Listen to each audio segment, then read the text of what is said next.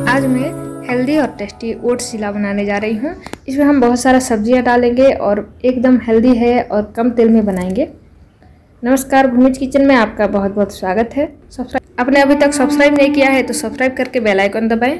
तो यहाँ पर मैं ले रही हूँ एक कप ओट्स इसको मैं चटनी जार में ग्राइंड कर रही हूँ। तो एकदम फाइन पाउडर बना लेना है और एक कटोरे में इसको हम डाल देंगे। अभी देखिए, मैंने एक कप ओट्स लिया है तो एक कप ही हम पानी लेंगे। तो सबसे पहले हम थोड़ा सा डालेंगे। आधा से थोड़ा सा ज़्यादा मैंने डाल दी है तो अच्छे से इसको मिला लेंगे। अभी देखिए, ये घोल थोड़ा सा पतला लग रहा है। इसको हम रेस्ट करने के लिए रखेंगे 10 से 15 मिनट के लिए। इतने में जो घोल जो है, पानी इसमें ऑब्ज़र्व हो जाएगा और थोड़ा सा गाढ़ा भी हो जाएगा। तो देखिए, ऐसे पतला कंसिस्टेंसी रखें, बहुत ज़्यादा गाढ़ा ना रखें। इसको हम ढक के रख देंगे 10 से 15 मिनट के लिए। 10 मिनट के बाद मैं खोल के देख रही हूँ। अभी हम इसमें कुछ सब्ज़ियाँ डालेंगे। गाजर को मैंने ले ली है, एक गाजर इसमें कद्दूकस करके करके डाल दी है। अभी इसमें आधा शिमला मिर्च को बारीक टुकड़ों में काट के डाल दी है इसमें। अभी हम इसमें डालेंगे हरी मिर्च एक कटी हुई और थोड़ा सा धनिया पत्ता।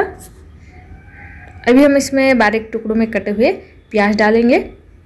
आधा प्याज को मैंने बारीक टुकड़ों में काट ली थी, इसको हम डालेंगे। तो इतना सब्ज़ियाँ काफ़ी है। अगर आप इसमें चाहें तो दूसरे सब्ज़ियाँ वगैरह डाल सकते हैं। स्वाद अनुसार इसमें नमक डालें और आधा चम्मच जितना इसमें लाल मिर्च पाउडर डालें।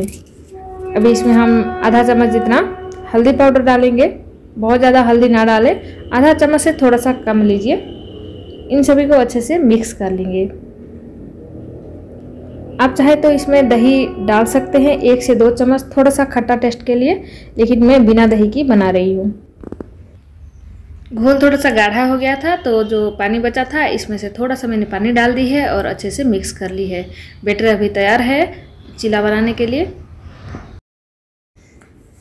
अभी एक फ्राइंग पैन को मैंने गर्म करने के लिए रख दी थी। अभी इसमें हम एक चम्मच जितना तेल को फैलाएँगे और एक से दो बड़े चम्मच बैटर को इस तरह से फैलाएँगे।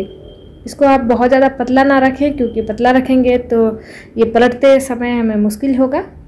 जल्दी पलटेगा नहीं और पलटने की जल्दी बिल्कुल भी ना करें। इसको आराम से पकने दीजिए मीडियम फ्लेम में एक से दो मिनट तक, उसके बाद ही इसको पलटें। वरना ये टूटने का चांसेस रहता है, क्योंकि ओट्स है। तो दोनों तरह से, दोनों तरफ़ से इस तरह से दबाते हुए अच्छे से सेक लें। क्योंकि सब्ज़ियाँ भी है तो इसीलिए ऊपर से थोड़ा सा तेल ग्रीस कर लें और इस तरह से दबाते हुए अच्छे से सेक लें। एकदम हेल्दी नाश्ता होता है। इसको आप वेट लॉस के लिए या फिर डायबिटिक्स पेशेंट के लिए भी इसको बना सकते हैं। टमाटर चटनी के साथ या फिर कोई भी चटनी के साथ परोसे और बना कर देखिए और मुझे कमेंट में लिखिए।